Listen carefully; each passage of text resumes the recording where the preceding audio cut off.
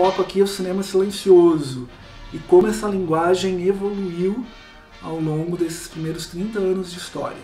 Então, o nosso segundo vídeo vai ser justamente sobre isso, sobre essa história do cinema nessas primeiras décadas e de como a linguagem foi sendo construída e pensada, às vezes pelo erro.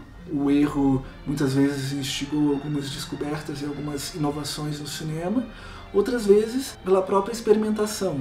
Nós sabemos que os considerados pais do cinema são os irmãos Lumière, lá no final do século XIX, porém existiram ah, no mundo, espalhado em vários países, outros inventores e inovadores, pesquisadores que desenvolveram projetos semelhantes ao do cinematógrafo. Porém, os irmãos Lumière acabaram recebendo esse título por uma série de características, entre elas terem eles organizado a primeira sessão pública e comercial de cinema lá no final de 1895. Né? Porém, os irmãos Lumière eles não tinham uma visão muito otimista do cinema.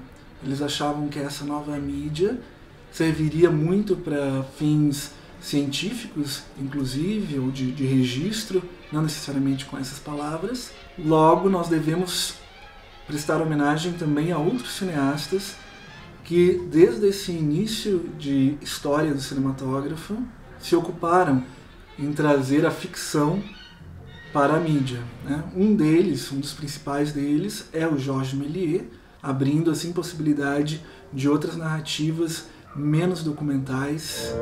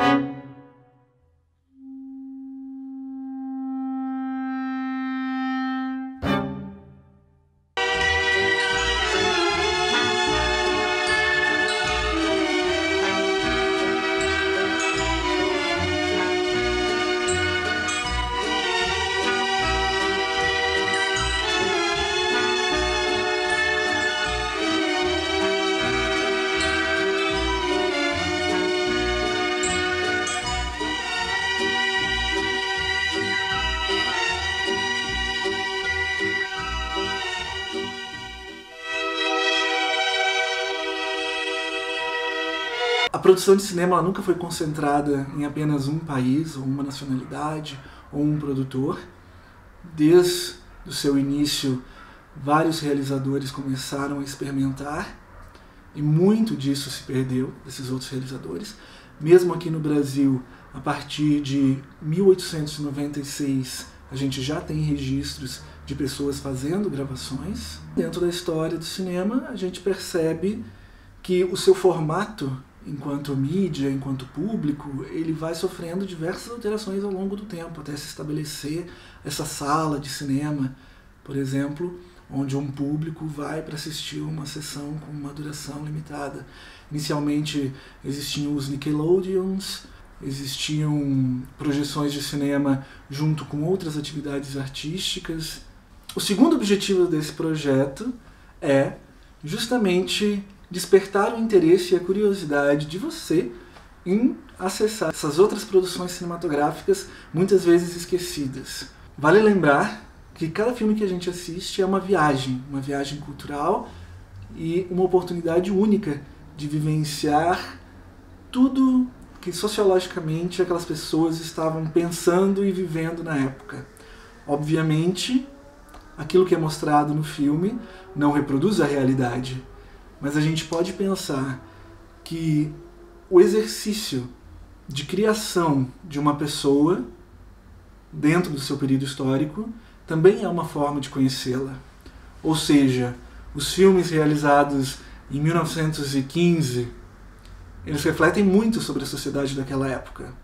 Não necessariamente no seu conteúdo, mas na forma como eles foram realizados e na forma como aquele conteúdo é apresentado.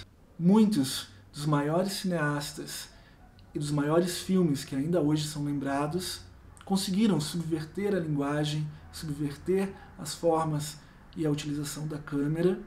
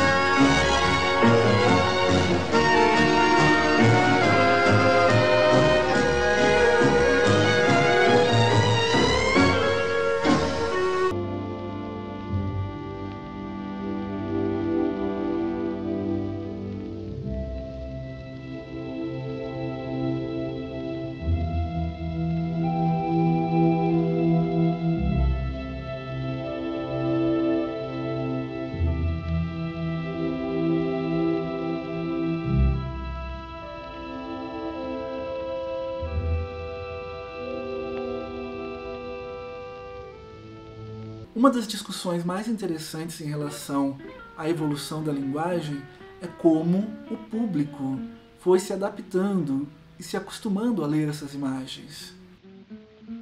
Era isso, pessoal. Espero que vocês tenham gostado da experiência, tenham gostado desse vídeo, que a partir de agora busquem novas referências e novos filmes silenciosos para aumentar o repertório de vocês e também que possam olhar esses filmes com outros olhos. O terceiro vídeo é uma proposta minha de documentário poético, no qual eu me utilizarei dessas imagens em domínio público de filmes, documentários, ficções, experimentações, enfim, desses primeiros 30 anos de cinema. Eu espero que essa minha experimentação seja para vocês também uma oportunidade de analisar e sentir potencial da linguagem cinematográfica na prática.